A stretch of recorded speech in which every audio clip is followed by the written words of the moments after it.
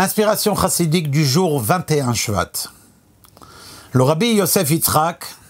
dont nous avons marqué sa Iloula, sa Istalkut, le 10 Shvat,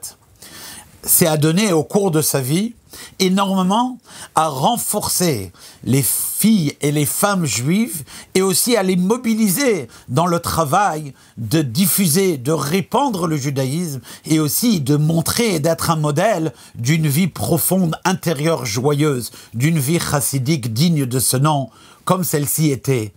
à l'époque.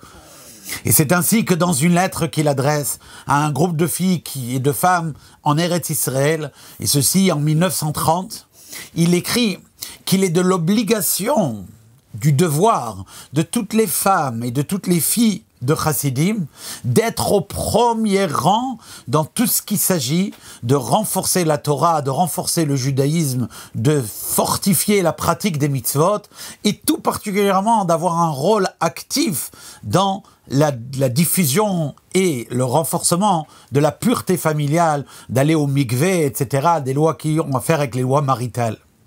Au-delà de cela, il est, leur dit Rabbi Rayat, nécessaire que les filles et les femmes de Chassidim se réunissent afin de se rappeler quelle était, quelle est la manière de vivre chassidique, quelle est cette chaleur juive qu'on doit avoir dans son avodat Hashem, se renforcer dans les voies de la chassidoute et de donner, continuer à prodiger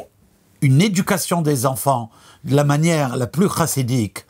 comme ceci était dans des époques antérieures.